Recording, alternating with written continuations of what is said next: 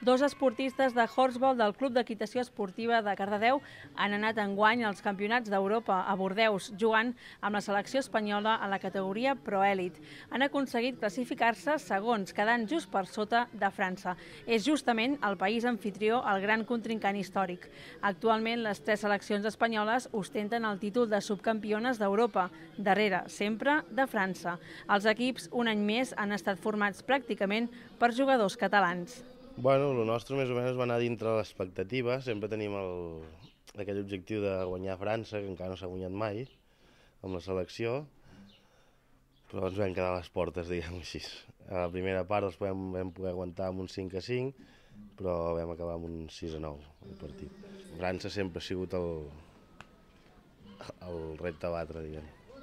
L'única manera que s'ha batut és com a club, això sí, que, que en Dram és l'únic club que ha pogut guanyar a França, però amb la selecció no s'ha guanyat mai. En aquesta edició del Campionat d'Europa han participat 17 equips de 7 nacions com Portugal o Àustria. Els dos jugadors del club de Cardedeu van marxar dimecres cap a Bordeus. Dijous, el primer dia del campionat, van jugar contra Bèlgica. Divendres van fer descans per dissabte enfrontar-se amb Itàlia.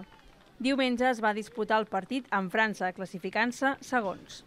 Respecte als altres països, suposo hi ha una petita diferència entre França i eh, que és l'equip espanyol, que són tots catalans, però de nivell respecte als altres països una mica hi ha aquesta diferència i per això sempre som els preferits una mica per voler guanyar França, però no s'ha aconseguit de moment encara mai.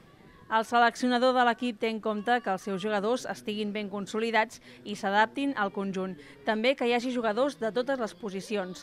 Miquel Julià, de l'Hípica Cantram, ha estat escollit millor binomi del campionat i Gil Carbonés, millor golejador. Mantenir un equip sempre dalt de tot és difícil.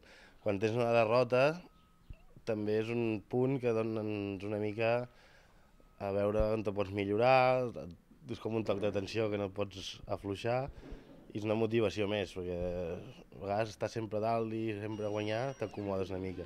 Quan un equip t'apreta, dona una mica més de, de motivació a l'equip. Ben aterrats a Cardedeu, en Miquel no pot baixar el ritme.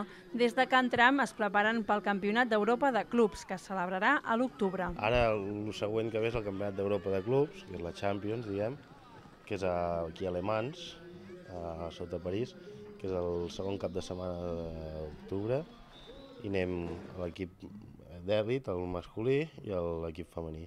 L'equip femení va guanyar el Campionat d'Espanya aquest any i va classificar i nosaltres vam fer segons, que també dona dret a participar al Campionat d'Europa.